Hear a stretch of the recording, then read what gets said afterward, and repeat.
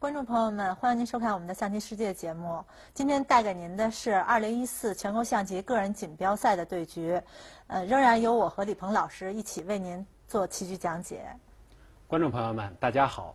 今天给大家带来的这盘棋呢，是一盘非常精彩的对局。嗯。啊，那么我们现在已经知道了，今年的个人赛冠军是我们的郑维彤。郑维彤。嗯。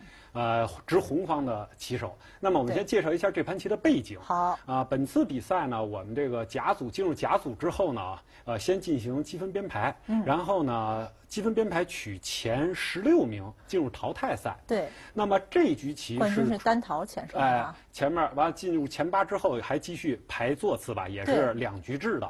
淘汰赛，那么这个实际是一场四进二的，就是半决赛，半决赛进决赛的。对，这盘棋的胜者将有机会争夺冠亚军，对，而败者只能去争得三四名了。对，就啊，对于这个郑维彤来说呢，是形势比较残酷，因为这里边好像他。只有他不是全国冠军，他是很希望能获得这个棋界的最高荣誉。对，那当然了，哪个冠军，这个得全国冠军是这个棋手们的梦想啊，一生的愿望。对。那么，尤其像郑维彤这样有实力而且年轻，郑维彤只有二十岁，今年。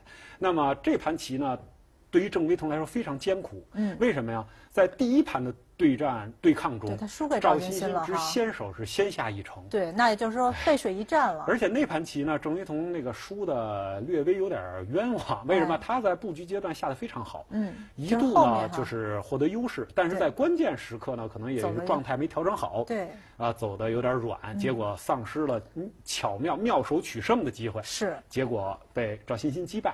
那么现在。第二盘棋可以说是背水一战，对，背水一战啊。那么在这个局面下，我们看看郑维彤之先手如何能扭转这个不利局面，对，争取能获得加赛快棋的机会。这两位年轻棋手的一个非常激烈的、非常好看的一个对局啊。对，嗯，那炮儿平五，炮儿平五，这是必然了，因为郑维彤没有退路了，败中炮了，败中炮了，决一死战。嗯嗯，啊，出局平判。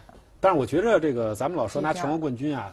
既要有实力，还要有运气。我觉得郑维彤运气还不错，他碰的是赵欣欣。万一这盘棋是许云川坏了，这第一盘先把你赢了，第二盘棋死守，就守住了。许云川的功力，赵欣欣是你守，我也不一定跟你守。对，因为赵欣欣的风格就是作战型的，对，他不会跟你轻易的去就和棋呀妥协的。是，所以这个棋他反而是给郑维彤带来一些呃机会。对，双方以武器炮三兵，双方很快下成了这个流行布局。这个布局也是郑维桐非常喜欢的一个下法。